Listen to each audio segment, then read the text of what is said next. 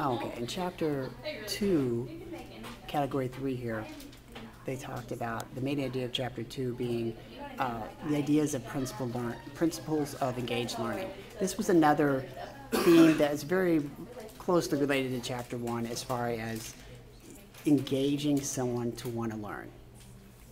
And it's, one of the questions says, how do constructivist and cognitive theories apply to the first principle hint on page 24? Well, cognitive theories and constructivist theories have to do with how people attain knowledge and how they construct it.